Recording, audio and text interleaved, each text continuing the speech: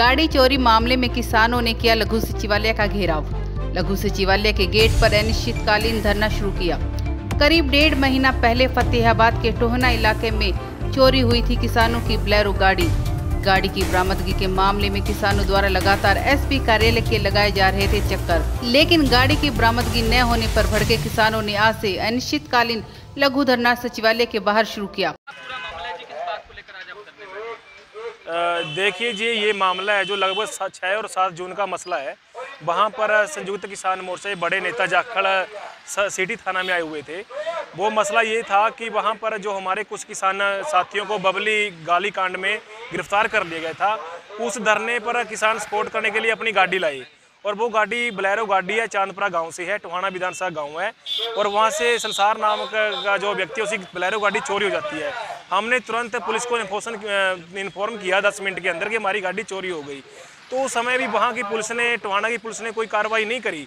तो उसके बाद हमने क्या करा कि एक पंचायत बुलाई टोहाने के अंदर की पुलिस कबाई कार्रवाई नहीं करी, इसकी हमें हमारी गाड़ी चाहिए। तो काफ़ी संख्या में वहाँ पर लोग आए और डीएसपी साहब ने हमारे को पंद्रह दिन का समय मांगा कि हम पंद्रह दिन के बाद वो गाड़ी पकड़ के दे देंगे। लेकिन वो समय जा लिया। तब जाकर हमने पुलिस कार, पुलिस की जो कार्रवाई थी, हम संतुष्ट नहीं हुई। उसके बाद हमने फिर डीसी और एसपी दफ्तर आने का फैसला किया इकतीस तारीख को, जो इकतीस जुलाई थी।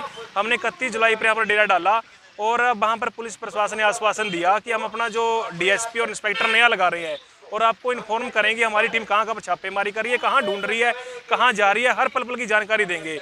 हमने उस आश्वासन पर धरना उठा लिया और कहा कि पंद्रह अगस्त के दिन अगर आपने गाड़ी नहीं दी तो हम यहाँ पर पंद्रह अगस्त के दिन आज़ादी का झंडा भी यहीं फहराएँगे, आज़ादी का दिवस भी यहीं मनाएँगे और हमारी गाड़ी बरामद करेंगे। जब हमने पंद्रह अगस्त के दिन काफ़ी संख्या में लोग, मजदूर, किसान आए, तब ज़्यादा बिज़ी शेड्यूल होने कारण अधिकारियों का वो हमें समय नहीं दे पाए।